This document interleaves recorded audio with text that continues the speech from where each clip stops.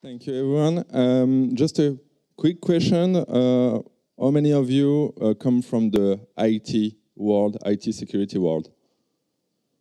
Okay, so some of you already know what is reversing and what is useful. So uh, I will try to make it simple for the other. And uh, the purpose of today is to understand what's behind the EVM uh, bytecode, typically the, the bytecode that will be stored on the blockchain, and uh, to help you to understand how um, like famous security tool works actually. Uh, so uh, I'm Patrick. Uh, I'm a security researcher, and uh, typically uh, my relation with blockchain uh, come um, because I'm I was doing like blockchain transaction tracking and stuff like that, and for that reason I was I needed to um, analyze uh, bytecode, uh, like self-destruct bytecode and transaction, etc. So uh, that's uh, why I start uh, um, actually my project that is called Octopus. So it's a it's a security security analysis framework. Um, typically, I support EVM, of course, but I also support some uh, other um, like platform like EOS and Neo. so if you want to take a look at the bytecode of the smart contract of Neo and EOS could be a good education. And uh, let's start. So uh, we're gonna, I will do a, a, quick introduction, and after that I will talk to you about the control flow graph um, and uh, why we need to use reversing at some point, and uh, as a developer point of view, why you can uh, need to use reversing. So um, Typically, reverse engineering will be really simple for smart contract. Uh, the purpose is you have the EVM bytecode and um, you want to translate it to EVM assembly. And uh, the reversing of smart contract typically uh, will be the analysis of this uh, EVM assembly. So uh, if you take a look at the bytecode, uh, you can have like, I mean, two type of EVM bytecode. The first one will be um, like this big one with a loader code. Uh, it's actually the loader code that will um, push the runtime code into the blockchain. Typically, this uh, shame will be um, present if you take a look at the um, uh, contract creation uh, transaction and if you took uh, a look at the input data. So in that cases, you will get the loader code. And uh, we are more interested about the runtime code that will be the final code of your smart contract. So uh, this code will run into the EVM. I will not spend too much time on that, uh, and uh, so on. So uh, first step, we uh, need to uh, disassemble the bytecode. So pretty simple. maybe some of you already saw the like the opcode tool from Etherscan, and it's typically what it does. It's like a disassembler, basic disassembler, and um, the way it works, the disassembling in general, you will need to have like a correlation between the opcode and the EVM um, instruction. So it's typically you just take the EVM instruction set and you do the matching and that's work.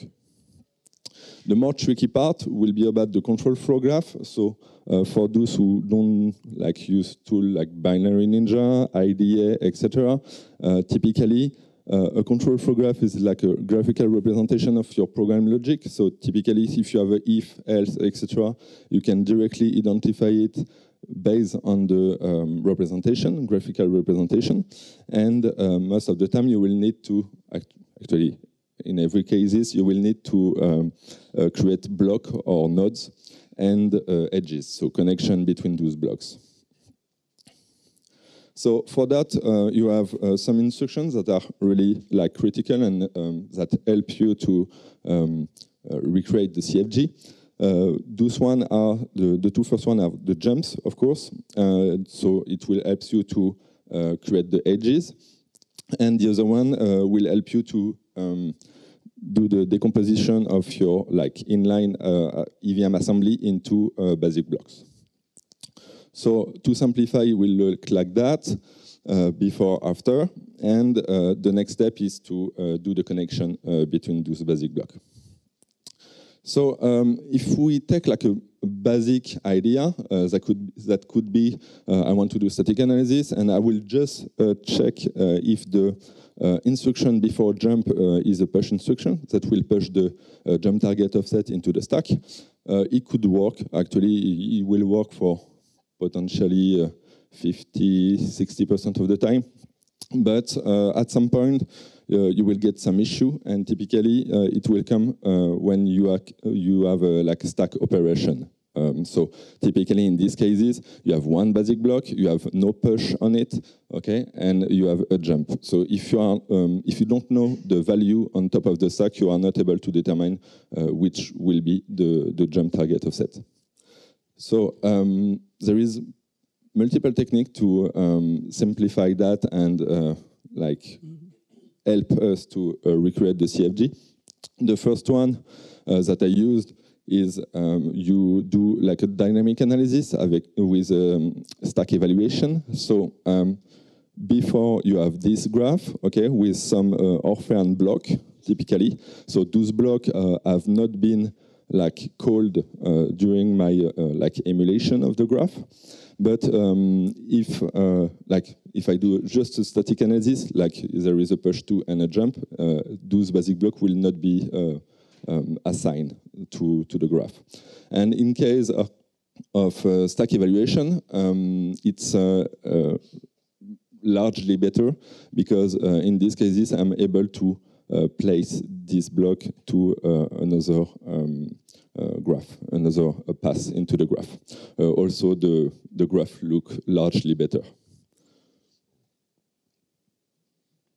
So once you once you have done that, actually, um, a good thing to do is to identify which basic block um, uh, assign all the basic block to the function. So um, if you uh, take back this graph, you will see that uh, there is a typical pattern for uh, a switch. Uh, and actually this switch uh, in EVM bytecode is the dispatcher function. So typically the way it works, the dispatcher function will be the entry point of the smart contract. And um, depending of the first four bytes of the transaction payload, that is called the method ID, uh, you will uh, go to one path or another. So in this example, typically, you will get uh, two different uh, method ID. So you can identify them pretty quickly with uh, this typical pattern. So you have a push for of the function uh, hash or method ID. we check if it's the same value than the, um, the first four byte, uh, four byte of the transaction. And uh, if it's, my bad, and if it's okay, uh, you will uh, do a, a, push to so uh, the, of the function offset, and you will jump to it.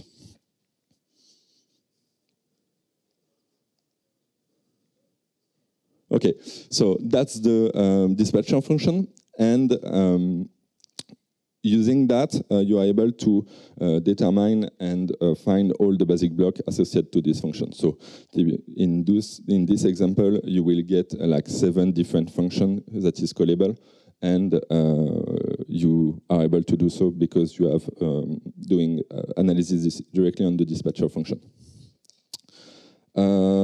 having the function is really cool, uh, but it's even better if we have the name of the function.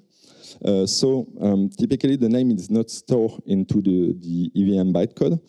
Um, the way you can recover it is uh, by using the, the four byte identifier, so the method ID.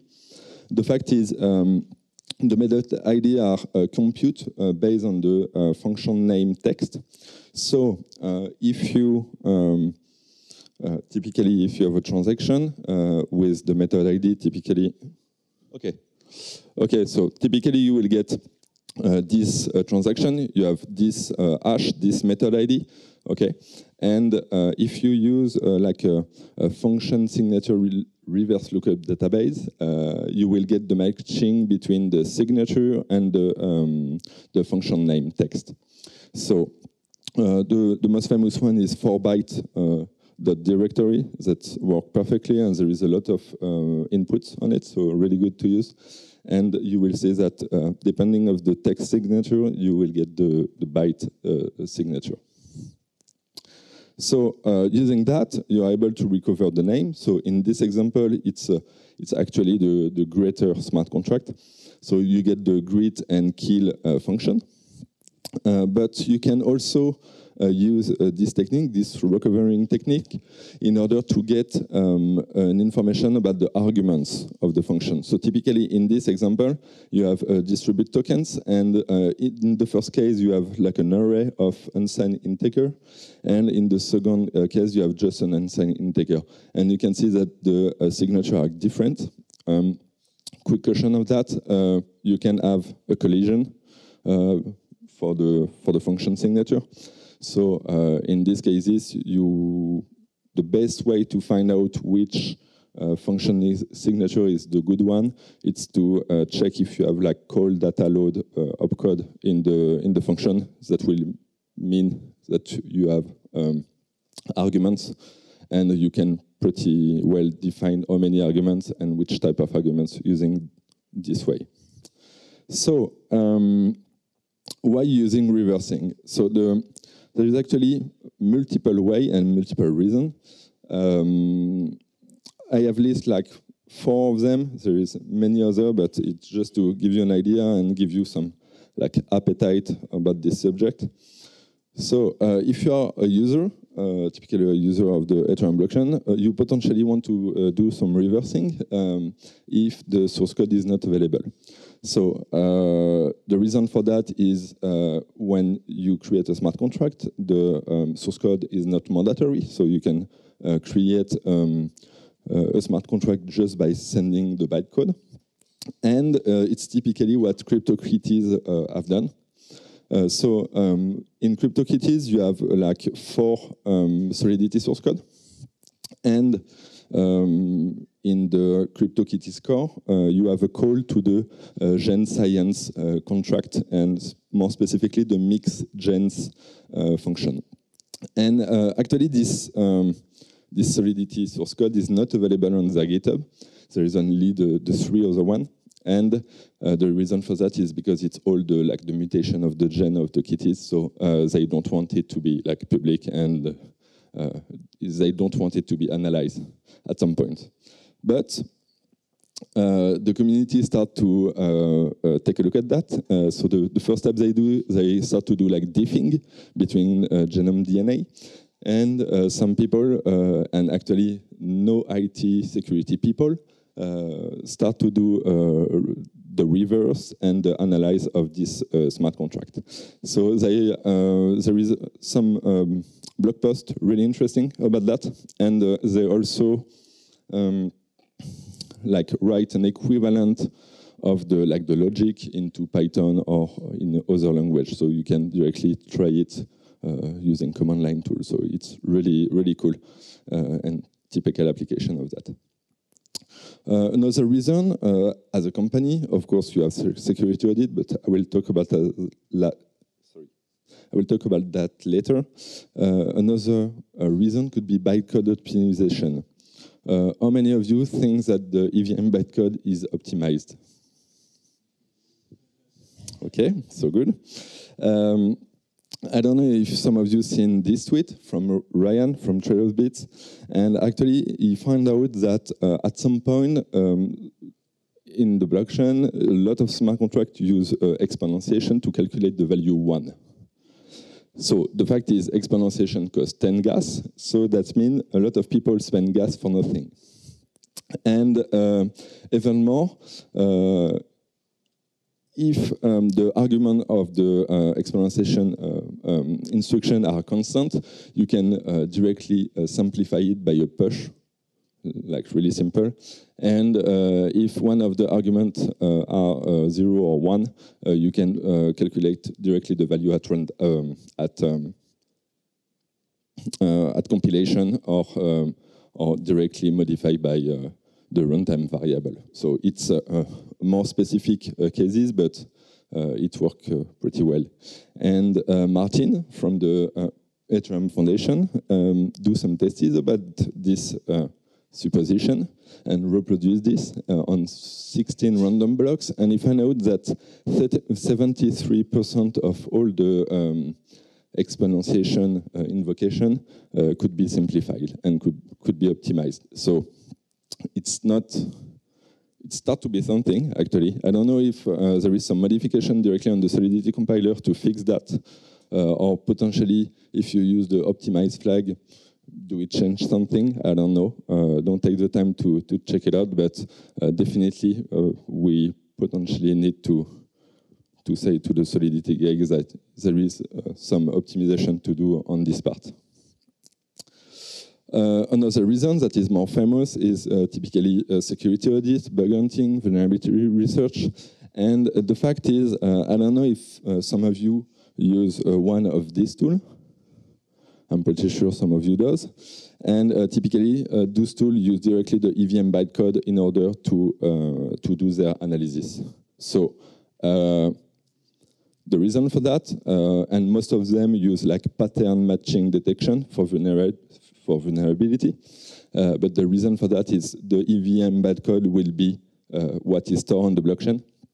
And, um, and uh, for the moment, I don't remember if there is some like vulnerability related directly to Solidity. Uh, I mean, directly to like Solidity implement bug into the code.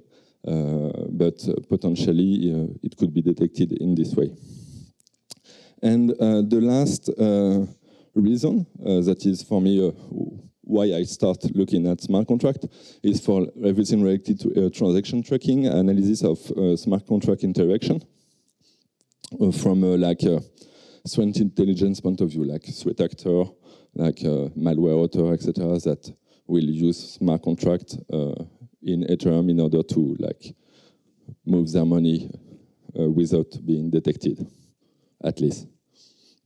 So uh, a typical case is uh, also the techniques that have been used by uh, Jay uh, from Trail of Bit just before me, is to do some post-mortem smart contract analysis. So if you have a smart contract that is destroyed, you go on Etherscan and you will see that so at this point, you are disappointed. Uh, but the fact is, uh, as I told you, the smart contract bytecode and the runtime code uh, is available directly into the smart contract creation input. So uh, if you just take a look at uh, this uh, transaction, you will get the loader code and the runtime code. You just need to, to cut the loader code and it's okay. You get your smart contract bytecode back. So that's all for me. Uh, I hope um, you have learned something and I give you some appetite to learn about EVM bytecode. I encourage you deeply to participate uh, into the creation and the, and the, the community behind uh, those tools uh, that are really good. Um, and uh, if also if you want uh, to see some other of my talk, like more specifically about reversing in general, but I also done a talk recently about the analysis of uh, the implementation of the Hello World from Parity uh, technology. So potentially some of some of you, if you are interested on EWASM, WASM, uh, you could uh, get some interest. And I have done a, a workshop recently uh, about like creating pattern to detect some type of vulnerability. So everything is available directly on the link. Thank you.